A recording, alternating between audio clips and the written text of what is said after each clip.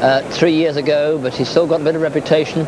9 to 4 with Charlie Swan, Conor Dwyer Jupiter Jimmy at 14 to 1, Derek Casey at 40 to 1 on Holders Hill. Let's go and join them with commentary from our colleagues on RTE. At the far end of the course, they've just over five furlongs to race. Danoli, Tommy Treacy stealing a glance over his left shoulder.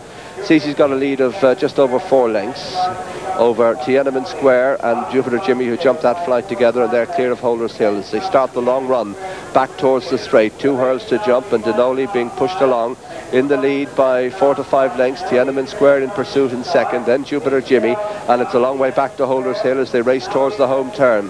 Danoli in the lead. Tiananmen Square is uh, improving steadily and hasn't been asked uh, many questions yet. Jupiter Jimmy's third, and they're clear of Holders Hill as they round the home turn.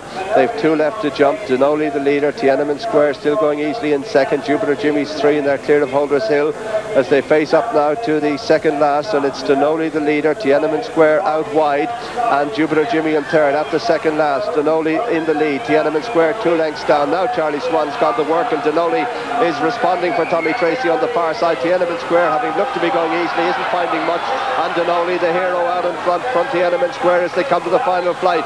Danoli with uh, his ears pricked at the last, hits the hurl. The first hurl he's really hit, but he's clear and storming up the hill. Danoli getting a rapturous reception from the crowd.